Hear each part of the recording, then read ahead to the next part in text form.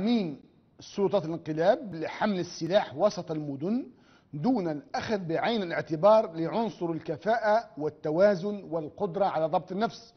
كما لفت الحزب انتباه الرأي العام لأن هذه الجريمة تأتي بعد سلسلة من جرائم القتل السابقة التي ظلت دون عقاب.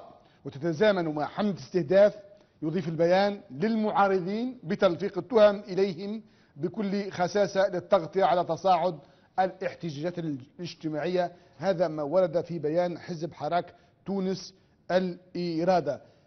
سي سمير الغرسلي بعودة على الجهات الداخلية والقاصرين لسي محسن الله يرحمه. فقيد هذا أحد شباب السبيبة المناطق الحدودية هذه.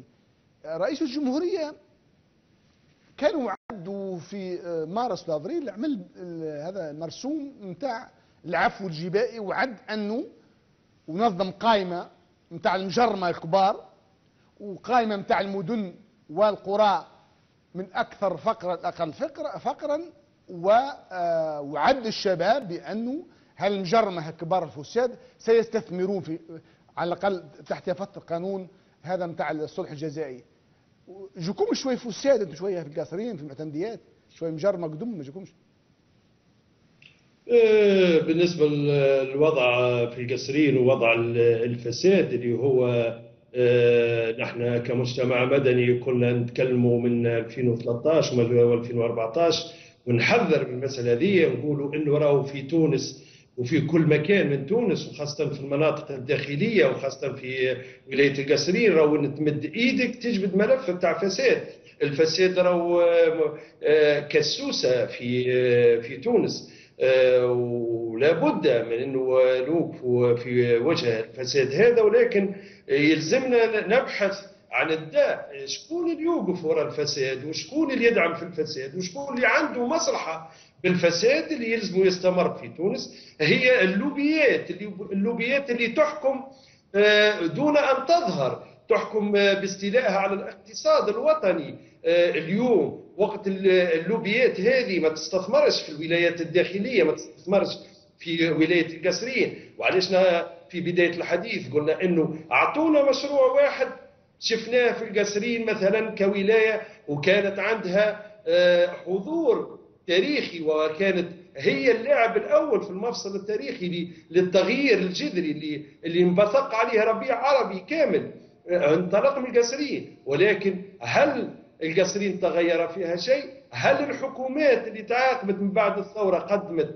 شيء للقصرين؟ هل لهذه الساعة لهذه اللحظة نشوفوا أنه تم آه، آه، العدل آه، أساس العمران؟ أنه شفنا حزب أو حكومة أو أو رجل كان ينطلق بدافع وطني لقيام العدالة في ما بين الجهات. آه، للخروج بالمناطق الداخلية ما الظروف اللي دفعتها باش تقوم بالثورة هذه للتغيير الجذري للشرايين الاقتصادية تاع الجمهورية التونسية باش تمس المناطق الداخلية.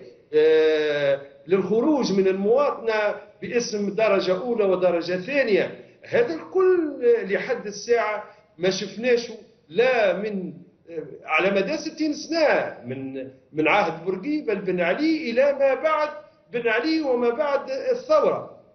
بالتالي اليوم اللي اللي قاعد يحصل في في البلاد إن الإرادة السياسية وغياب الدولة تماما على تقرير مصير اولادها آه، وشبابها آه، و لكن اسمح لي آه، سي معذر سمير رئيس الجمهورية زاركم في القصرين وعد الشباب هناك.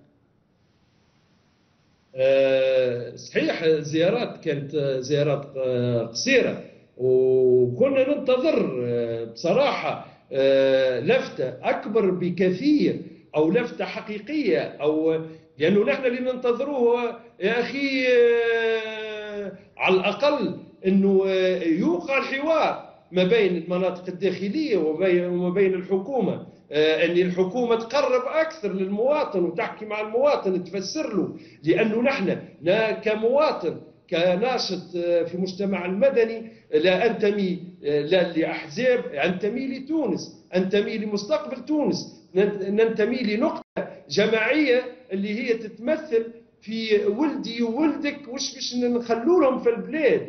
يعني اليوم نحن مقتنعين إنه نبحث عن وطن نبحث على أي نفس وطني يخدم من أجل إنه ولدي يبقى يحلم في في داخل تونس. ما يفكرش باش يحلم خارج تونس. يعني اليوم اللي باش نحملوا المسؤولية الكاملة إن كان الرئيس أو كانت الأحزاب السابقة أو كان بن علي أو كان بورقيبة لكن اللي يهمنا يهمنا اليوم.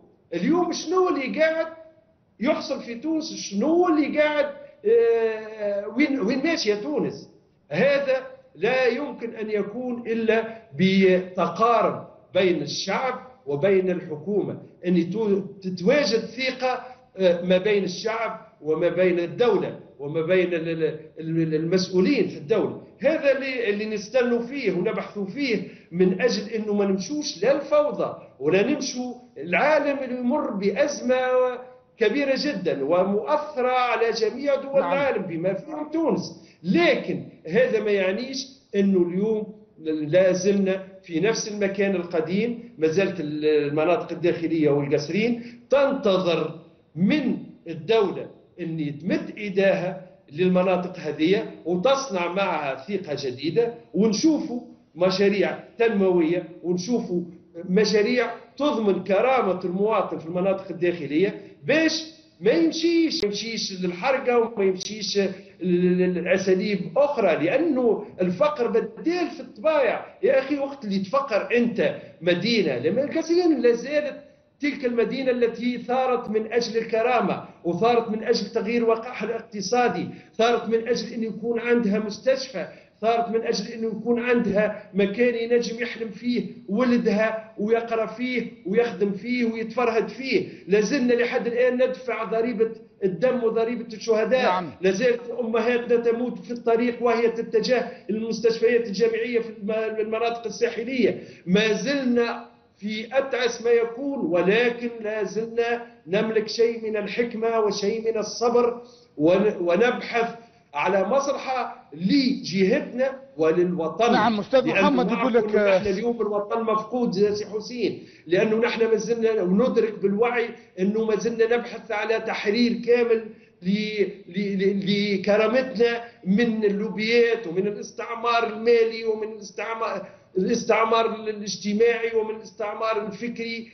ونبحث عن تحرير المناطق الداخلية حتى ترقى وتقترب من المناطق التي يستطاب فيها العيش والمناطق الساحلية اللي خذت تاريخيا من الثروة التونسية ما ما ما يفوق 80% وكأنك يا بوزيد ما غزيت يعني رغم التمييز الإيجابي اللي رد فيه 14 2000 على أرض الواقع هربتوا من استعمار خارجي لاستعمار داخلي. ما زالت التنمية ما زال يحلم.